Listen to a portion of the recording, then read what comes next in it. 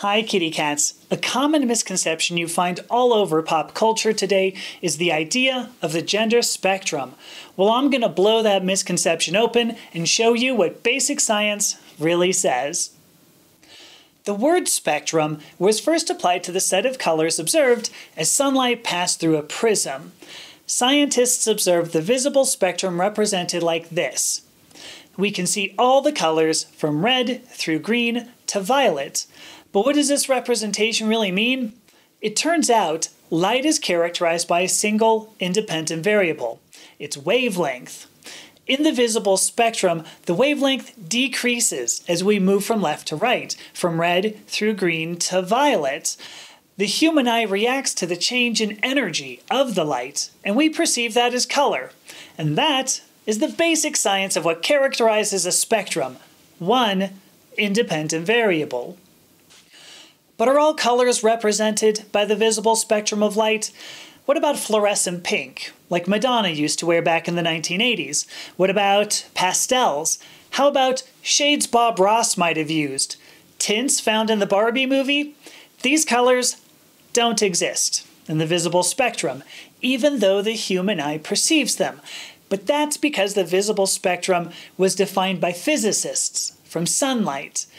Even though the visible spectrum is related to the human eye, it does not capture every color the eye is capable of perceiving. It turns out humans are sensitive to three different colors red, green, and blue. But humans don't sense only one color at a time, we sense all three at once, as a mixture of the intensity of each color. Computer scientists modeled the functionality of the human eye to provide a set of colors for computer graphics. The most common model is called RGB, for red, green, and blue, and combines the intensities of each separate color on a screen to appear as one compound color to the human eye. It is often displayed graphically like this, with pure red, green, and blue at the edges and their mixtures in between. Using only three independent variables, with a total of 256 steps of range each, results in more than 16 million colors that can be represented by a computer screen. None of the independent variables changes much over its range, only from 0 to 255. But even with a limited expression of each variable, the combination of the three expresses much more. In fact, so much more, the result was given an entirely different name a set of combinations of independent variables is called a gamut. But I said I was going to talk about gender, didn't I? Well, let's take a look at a proposed gender spectrum. This shows the spectrum of gender, from pure masculine to pure feminine.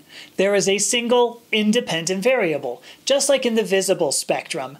In this spectrum, however, the variable is gender. But what does pure masculine mean? What does pure feminine mean? Where do blue jeans fit into this spectrum? What about watching a romantic comedy? How about crying at a funeral? The thing is, gender identity is composed of at least four aspects of identity. In my model, I group them into physical, cognitive, behavioral, and spiritual. Just as the human eye detects color as a composite of three separate intensities of red, green, and blue, the human consciousness detects gender through these four variables, in some ways independently, in some ways dependently. Suppose we allow only 256 levels of expression in each category, only 256 physical appearances, 256 methods of cognition, 256 behavioral patterns, and 256 senses of our place in the universe. Simply adding that one extra independent variable increases the number of combinations from almost 17 million to over 4 billion. Even when limited to a narrow range of human expression, the combination easily includes a human reacting to a character in a romantic comedy wearing blue jeans to a funeral at which he cries. And we are just getting started. Gender is not and cannot be only a spectrum. Physical appearance alone is not easily modeled as continuously variable from masculine to feminine. For instance, long hair is seen as both distinctly masculine and distinctly feminine.